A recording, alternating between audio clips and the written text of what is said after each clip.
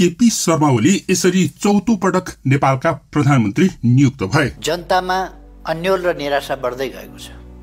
युवाहरू पलायन भइरहेका छन्। सरकार व्यवहारमा सफल देखिन सकेन। नेकपा एमालेका अध्यक्ष केपी शर्मा ओली नेपालको प्रधानमन्त्री नियुक्त भएका छन्। राष्ट्रपति रामचन्द्र पौडेलले संविधानको धारा छयत्तर दुई अनुसार यही दुई हजार एकासी साल असार तीस गते आइतबार ओलीलाई प्रधानमन्त्री नियुक्त गरेको विज्ञप्ति राष्ट्रपति कार्यालयले जारी गरेको छ। त्यसअघि असार अठाइस गते शुक्रबार प्रधानमन्त्री रहेका प्रचण्डले संसदमा विश्वासको मत माग गरेर संसदको विश्वास प्राप्त गर्न नसकेपछि राष्ट्रपति पौडेलले दुई वा दुईभन्दा बढी दललाई नयाँ सरकार गठनको दावी पेश गर्न आह्वान गरेका थिए। तीस गते साँझ पाँच बजेसम्मको लागि समय सीमा राखेर प्रस्तावको माग गरिएकोमा शुक्रबार नै ओलीले नेपाली कांग्रेसको समर्थन सहित प्रधानमन्त्रीमा दावी पेश गरेका थिए। सो समय सीमाभित्र अन्य कुनै प्रस्ताव नआएपछि समयको समाप्ति लगत्तै राष्ट्रपतिले ओलीलाई प्रधानमन्त्री नियुक्त गरेका हुन्। ओलीको शपथ ग्रहण भने नियुक्तिको भोलिपल्ट अर्थात असार एकतिस गते सोमबार बिहान एघार बजे मात्रै हुने भएको छ। राष्ट्रपति कार्यालय शीतल निवासमा नयाँ प्रधानमन्त्रीको शपथ ग्रहण हुने गरी व्यवस्थापन तथा पत्रचार गरिएको बताइएको छ। ओली प्राविधिक रूपमा चौथो पटक प्रधानमन्त्रीको रूपमा शपथ ग्रहण गर्ने भए पनि उनको दोस्रो र तेस्रो कार्यकाल लगातार भएको हुनाले तेस्रो पटक भने पनि हुन्छ। ओली प्रधानमन्त्री नियुक्त हुँदा जारी राष्ट्रपति कार्यालयका तीनवटा पत्र र ओलीको प्रस्तावको पूर्णपाठ प्रस्तुत गर्नुअघि उनी कसरी नियुक्त भए भन्ने छोटो पृष्ठभूमि र यसअघिका उनका कार्यकालहरूको विवरण प्रस्तुत छ। सरकार व्यवहारमा सफल देखिन सकेन। देश समस्याग्रस्त हुँदै गएको छ। यसको कारण के हो र यसको समाधान कसरी निस्किन्छ?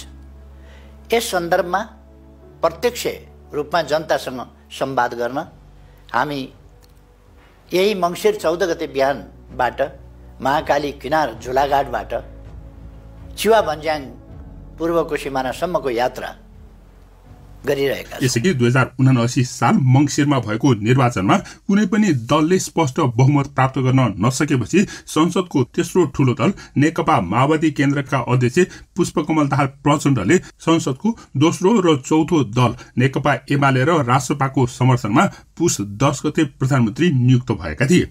त्यसपछि उनले नेकपा एमालेलाई छोडेर नेपाली काङ्ग्रेसको समर्थनमा सरकार चलाए। गत दुई हजार अस्सी साल फागुनमा उनले काङ्ग्रेसलाई छोडेर फेरि एमालेसँग गठबन्धन गरेपछि प्रचण्डले यो संसदको पूर्णकाल नै आफै प्रधानमन्त्री हुने दावी पनि गरेका थिए।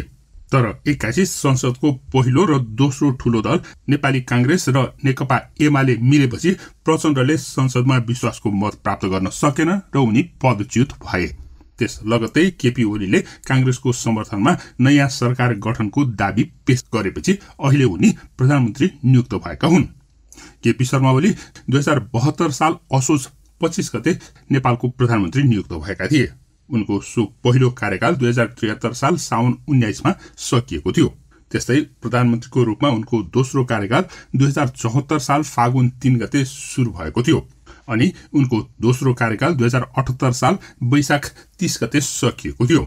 तर दोस्रो कार्यकाल सकिएकै दिनमा तेस्रो कार्यकालका लागि वैशाख तीस गते नै राष्ट्रपति विद्यादेवी भण्डारीले उनलाई पुनः प्रधानमन्त्री नियुक्त गरेर शपथ ग्रहण गराएकी थिइन्। यो उनको तेस्रो कार्यकाल वैशाख तीस गते शुरू भएर दुई महिनापछि अर्थात् दुई हजार अठहत्तर साल असार उन्तिस गते सकिएको थियो। अहिले दुई हजार एकासी सालको असार सत्र गते मध्यरातमा नेकपा एमाले र नेपाली काङ्ग्रेसले आलो पालो सरकार चलाउने समझदारी गरेको बताइएको भए पनि सो समझदारी पत्र भने अहिलेसम्म गोप्य राखिएको छ। नेताहरूले बताए अनुसार सुरुको कार्यकालमा ओली प्रधानमन्त्री बन्ने र त्यसपछि काङ्ग्रेसका सभापति शेरबहादुर देउबा प्रधानमन्त्री बन्ने गरी सहमति भएको छ। पहिलो चरणमा नेपाल कम्युनिस्ट पार्टी एमालेका अध्यक्ष मान्य केपी शर्मा ओलीजीले नेतृत्व गर्नुहुने र दोस्रो चरणमा नेपाली काङ्ग्रेसका सभापति मान्य शेरबहादुर देउबाजीले नेतृत्व गर्ने गरी जुन सहमति भएको छ त्यो सहमतिलाई कार्यान्वयन गर्नका लागि यो बैठक दृढता व्यक्त गर्दछ भनेर हामी त्यसलाई कार्यान्वयन गर्छौँ भन्ने प्रतिबद्धता व्यक्त गरेको अब प्रस्तुत छ राष्ट्रपति कार्यालयले जारी गरेको विज्ञप्तिको पूर्ण पाठ? दुई हजार एकासी साल असार तीस गते आइतबार जारी विज्ञप्तिमा भनिएको छ सम्मान्य राष्ट्रपति श्री रामचन्द्र पौडेलज्यूले नेपालको संविधानको धारा छयत्तरको उपधारा दुई बमोजिम प्रतिनिधि सभाका मान्य सदस्य श्री केपी शर्मा ओलीज्यूलाई नेपालको प्रधानमन्त्री नियुक्त गर्नु भएको छ। त्यसअघि प्रधानमन्त्रीमा दावी पेश गर्दै केपी शर्मा ओलीको प्रस्ताव यसरी पेश गरिएको थियो। मिति दुई हजार एकासी साल तीन अठाइस सम्मान्य राष्ट्रपतिज्यू राष्ट्रपतिको कार्यालय शीतल निवास महाराजगंज काठमाडौँ। विषय प्रधानमन्त्री नियुक्ति सम्बन्धमा। सम्मान्य राष्ट्रपति ज्यूबाट मिति दुई हजार एकासी तीन अठाइस गतेका दिन नेपालको संविधानको धारा छयत्तरको उपधारा दुई बमोजिम दुई वा दुईभन्दा बढी दलको समर्थनमा सरकार गठन गर्नको लागि दावी पेश गर्न आह्वान भएकोमा सो समय सीमा भित्रै प्रतिनिधि सभामा प्रतिनिधित्व गर्ने निम्न दलहरूको समर्थनमा प्रतिनिधि सभामा स्पष्ट बहुमत सहित नेकपा एमालेका अध्यक्ष तथा प्रतिनिधि सभाका सदस्य श्री केपी शर्मा ओलीलाई प्रधानमन्त्री पदमा हामीहरूको समर्थन भएको बेहोरा अनुरोध गर्दछौं। हामी हस्ताक्षरकर्ता दलको प्रतिनिधित्व गर्ने प्रतिनिधि सभा सदस्य संख्या कुल प्रतिनिधि सभा सदस्य संख्याको बहुमत रहेको हुँदा उहाँलाई नेपालको संविधानको धारा छत्तर दुई बमोजिम प्रधानमन्त्री पदमा नियुक्त गरिदिनु हुन अनुरोध गर्दछौं।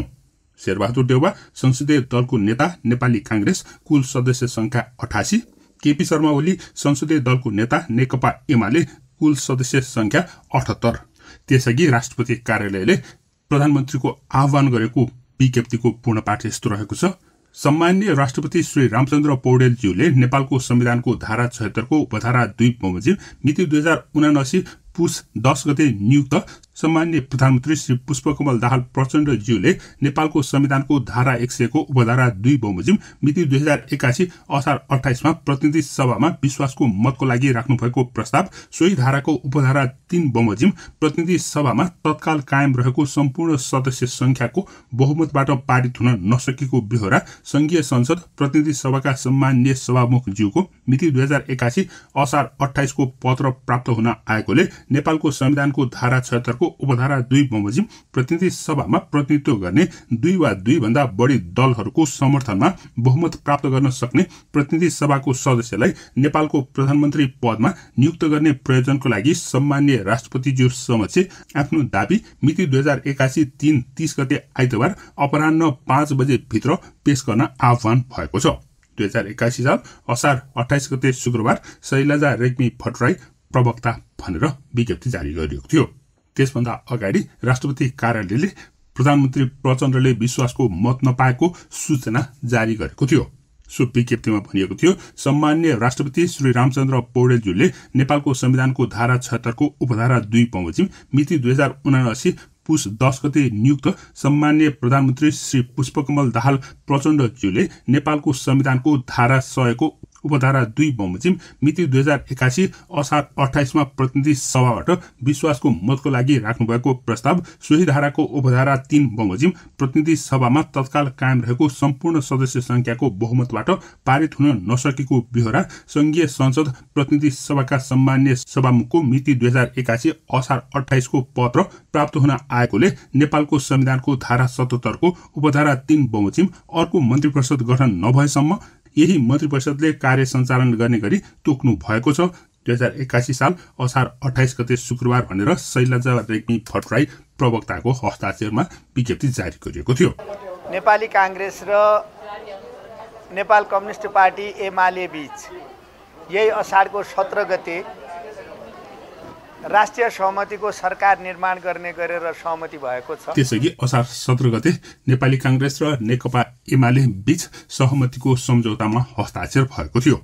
नेपाली काङ्ग्रेस र नेकपा एमाले सहमति गरेपछि उनीहरूले प्रधानमन्त्री पुष्पकमल दाहाल प्रचण्ड स्पष्ट अल्पमतमा परेको भन्दै उनलाई राजीनामा दिन आग्रह गरेका थिए। तर प्रधानमन्त्री प्रचण्डले भने आफूले संविधान अनुसार अल्पमतमा परेको तीस दिनभित्र संसदबाट विश्वासको मत लिन पाउने व्यवस्था अनुसार नै विश्वासको मत लिने दावी गरेका थिए। उनले नेकपा एमाले सरकारलाई दिएको समर्थन फिर्ता लिएको विज्ञप्ति जारी गरेपछि संसदलाई एक पत्र लेखेका थिए असार एक्काइस दुई हजार एक्कासीमा उनले लेखेको पत्रको पूर्ण पाठ यस्तो छ। श्री महासचिव संघीय संसद मेरो नेतृत्वमा सम्भ दुई हजार उनासी साल पुस एघार गते गठित सरकारमा सहभागी दलहरू मध्ये एक दलले आफ्नो समर्थन फिर्ता लिएको हुँदा नेपालको संविधानको धारा एक सयको उपधारा दुई बमोजिम तीस दिनभित्र प्रधानमन्त्रीले विश्वासको मतका लागि प्रतिनिधि सभा समक्ष प्रस्ताव राख्नुपर्ने प्रावधान भए अनुरूप उक्त विषय सम्बत दुई हजार एकासी साल असार अठाइस गतिको प्रतिनिधि सभा बैठकको कार्यसूचीमा समावेश गर्ने व्यवस्थाको लागि अनुरोध छ पुष्पकमल दाहाल प्रचण्ड भनेर उनले हस्ताक्षर गरेर पठाएका थिए। यसरी संसदका दुई ठूला दलहरू नेपाली काङ्ग्रेस र नेकपा एमाले दुई दलहरू मिलेर नेकपा एमालेका अध्यक्ष केपी शर्मा ओलीलाई नेपालको प्रधानमन्त्री नियुक्त भएकोमा उनलाई बधाईको साथसाथै उनको कार्यकालको सफलताको लागि धेरै धेरै शुभकामना छ। आशा छ यो गठबन्धन यो संसदको कार्यकाल भरिलाई कायम होला र यसअघिका जस्ता अन्यलका वातावरणहरू सिर्जना नहोलान् भन्ने। तर गिरबुन्दु लगायतका विभिन्न प्रकरणहरूमा प्रश्न उठेका ओलीले सुशासनको प्रत्यावृत्ति दिन सक्छन् होला भन्नेमा कतिपयको आशंका रहेको पनि छ। यस सन्दर्भमा तपाईँ के भन्नुहुन्छ? के केपी शर्मा ओलीको कार्यकाल सुखद हुन्छ होला त? कृपया कमेन्ट गर्नुहोला। धन्यवाद।